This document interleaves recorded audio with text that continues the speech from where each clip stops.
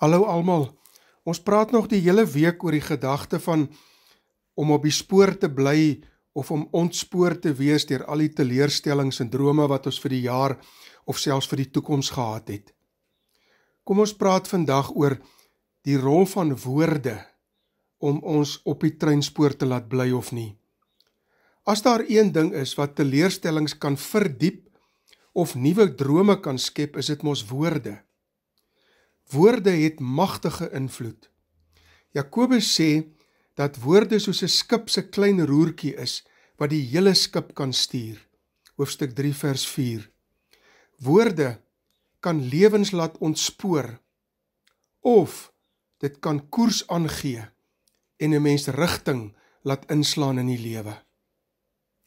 Watter woorde is jou metgesel in die lewe?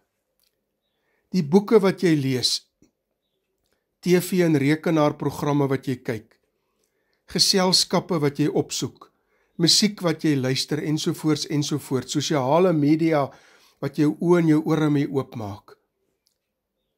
Is dit goeie woorde?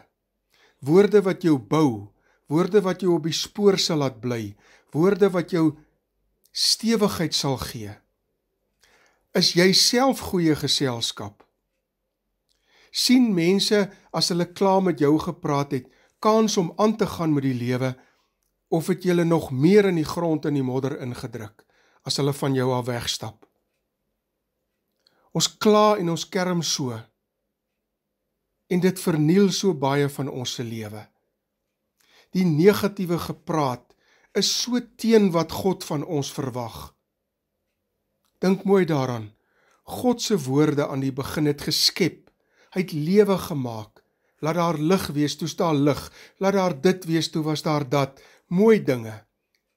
Nou met sy kinders wat sy beeld is, ook woorde gee wat lewe skep en nie afbreek nie. Onthou nou, ons lewe het broos geword.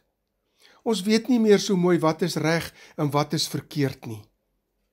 En nou is ons woorde nog van groter belang. Dit kan ons so afbreek of dit kan ons so opbou.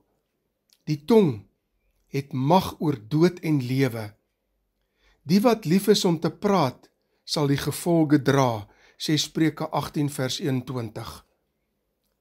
Stap 6 van hoe om standvastig op die treinspoor te bly en vir God voluit te lewe.